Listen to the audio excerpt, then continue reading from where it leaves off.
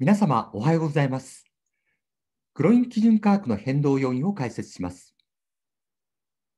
グロイン毎月分配型の10月15日の基準価格は2643円でした。前日比プラス0.2%、5円の上昇となりました。グロインの基準価格は前日のルクセンブルクの16時、ニューヨークの10時の時間に基づいて計算されています。続いて、為替と株式別の変動要因です。基準価格の変動のうち、為替要因がマイナス7円、株式要因がプラス12円でした。14日の株式市場は、欧米ともに下落しました。米国では、景気対策法案の早期成立期待が後退し、S&P500 指数はマイナス0.66%下落しました。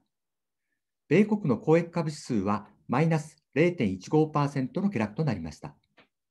公益株指数が下落する中、株式要因がプラスになったのは、米国株式市場が基準価格の評価時点の後に下落したことが主な要因です。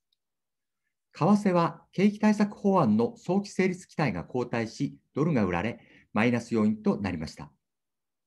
以上です。